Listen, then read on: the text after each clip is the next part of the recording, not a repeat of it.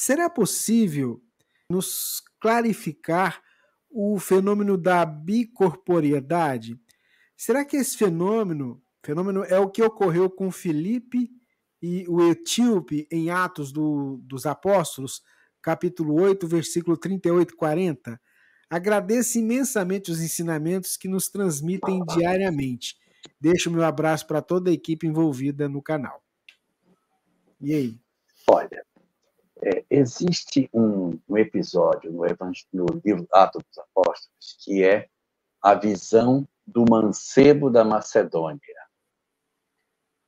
Paulo estava indo em um determinado rumo e durante a noite ele sonha. E um jovem da Macedônia lhe aparece e pede para que ele vá para a cidade deles, Filipos, para que ele vá para lá.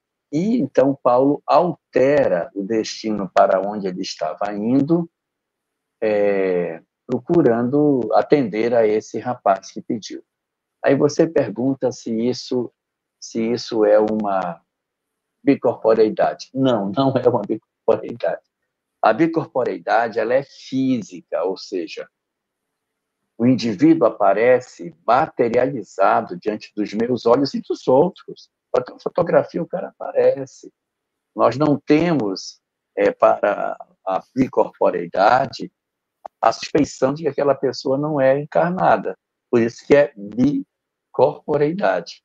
O espírito está num lugar e ele se, se desloca para outro, e no outro lugar ele se materializa. Então, você tem a pessoa em dois lugares.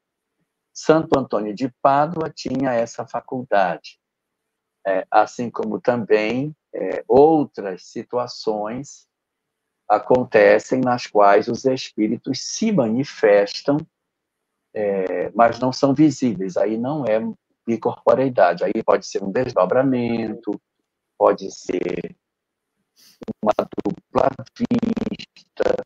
A bicorporeidade tem que estar fisicamente perceptível por todas as pessoas do ambiente, como no caso de Antônio de Pádua, que rezava uma missa no lugar e estava no tribunal defendendo seu pai no mesmo instante, sendo vista por todos, tanto na igreja como no lugar do julgamento.